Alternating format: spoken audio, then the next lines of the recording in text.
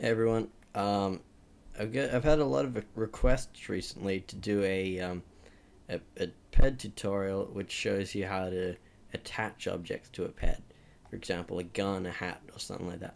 Uh, a little while ago, I did a tutorial on how to modify a ped and make the head bigger and stuff like that. But now I'm going to show you how to add objects to a ped, um, like, you know, as I already said. So before I exported Ryder and TXD Workshop, uh, Ryder.dff and TXD Workshop. We don't need the texture, but you can export it if you like. And I also exported, uh, and that was from GTA 3.img. I also exported um, boxingcap.dff and the texture, but we're not going to be using the texture, so don't worry about that. Um, what we'll do is we'll go to utilities, we'll go DFFIO, uh, import DFF and make sure you click A. Remember to click A. It's very annoying if you don't click A because it stuffs everything up. Um, let's go to import DFF and ryder.dff. Okay, open that. That's all open. We can zoom in and looks like he's laying down. So let's select everything.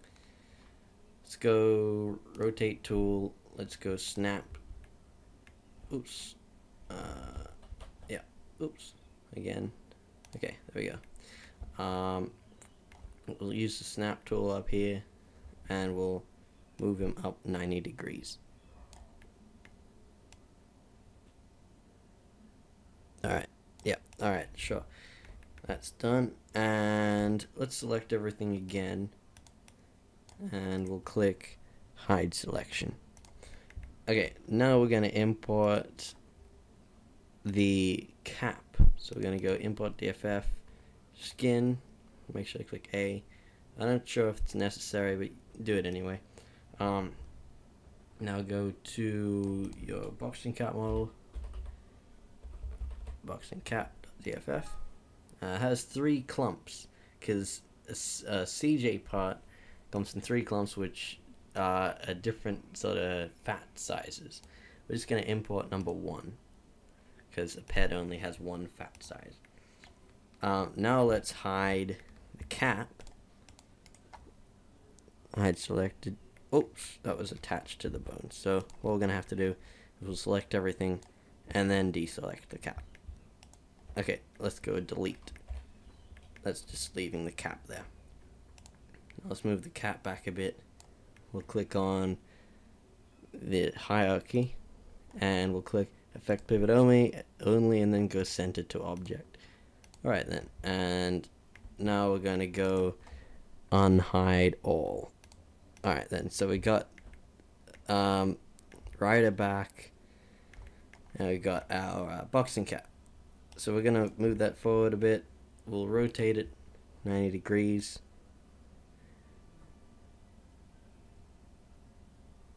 Uh,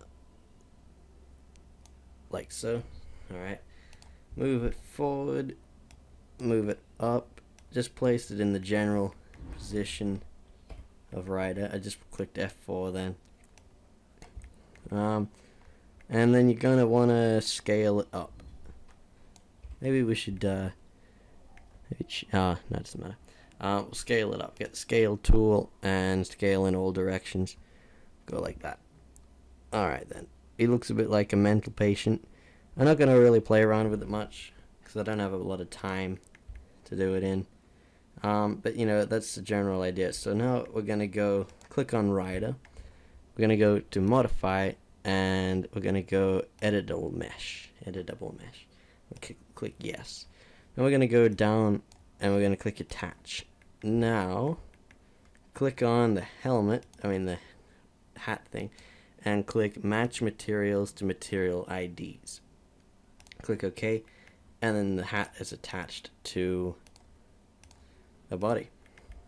Now we're going to, um, just to make sure that it's attached properly, um, we're going to select a bone, a bone up here, maybe this bone, and rotate it back and forward and see if the cap moves with it.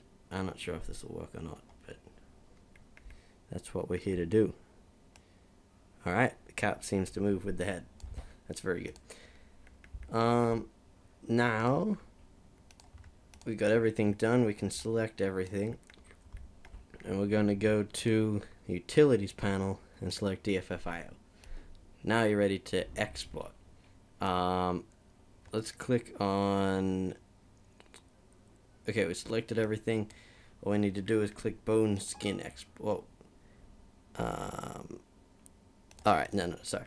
Don't select everything, just select the, the character, the mesh, and then click bone skin export. Alright, now we can export to wherever you like, and I'm just going to call this ride.dff. Okay, then, click save, it'll save it, and you're done. Okay, then that's that's everything done. Oh no, sorry. One last thing. When you open up TXD Workshop, go into Writer's texture. We're going to have to go... Uh, image, textures, insert image from template.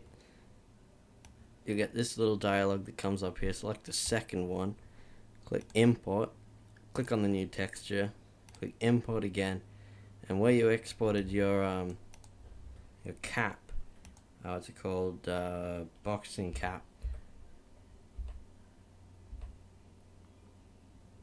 There it is, boxing cap dot uh, or whatever type you exported it as and you got it here. We're gonna go to property properties and we're gonna go and rename this to boxing cap. And now we're gonna go compress and that'll compress it to a DXT1 compression. Then go save TXD I don't want to save it but make sure you do save it. Uh, then import ryder.dff and I mean sorry right click ryder.dff and replace it with your new model. Make sure to back up gta3.image and you're done. Okay so um, if you want to check out what it would look like when you finished check out the check out my uh, latest GTASA mods video and that shows you what can be done with it. Okay then. Well I hope you enjoyed it and I hope you learned some stuff out of it this tutorial and sorry I'm looking away I uh, hope you enjoyed this tutorial and hope you got a lot of information out of it. And uh, don't forget to subscribe, and I'll see you later. Thank you for watching.